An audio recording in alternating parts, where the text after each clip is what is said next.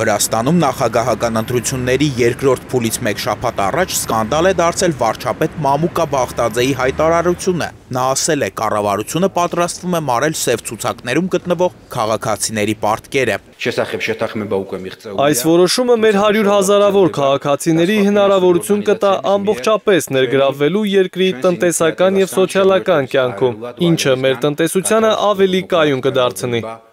Քաղաքացիների պարտքերը պատրաստվում է մարել Քարթու հիմնադրամը։ Այն ստեղծել է Վրաստանի իշխանական կուսակցության հիմնադիր Բիձինա Իվանիշվիլին։ Ընտրություններից մեկ շաբաթ առաջ նման խոստումները ընդդիմությանը եւ հասարակական կազմակերպություններին կաշառքի խոստումներ են հիշեցնում։ Իշխանությունը հավաստիացնում է, որ քաղաքացիների պարտքերի մարմամբ արդեն մի քանի ամիս է զբաղվում եւ որոշումը ընտրությունների հետ որևէ կապ չունի։ Վրաստանի նախագահական ընտրություններին հետևող 3 խոշոր հասարակական կազմակերպություն հայտարարել են, որ կառավարության որոշման մեջ իշխանության աջակցությունը վայելող տեխնացու Սալոմե Զուրաբիշվիլիի օկտին քաղաքացիներին կաշառելու միտում կա։ Ընդդիմության միասնական տեխնացու Գրիգոր Վաշաձեն, որը համարվում է նախկին նախագահ Միխայել Սահակաշվիլիի տեխնացուն, եւս կարծում է, որ իշխանությունն այս քայլով ցանկանում է լրացուցիչ ձայներ բերել իր մրցակից Սալոմե Զուրաբիշվիլիին։ Վաշաձեն փոխարենն առաջարկում է, որ խորհրդարանը օրենքի ուժով զրոյացնի այն տուգանքները, որոնք սահմանել են բանկերը։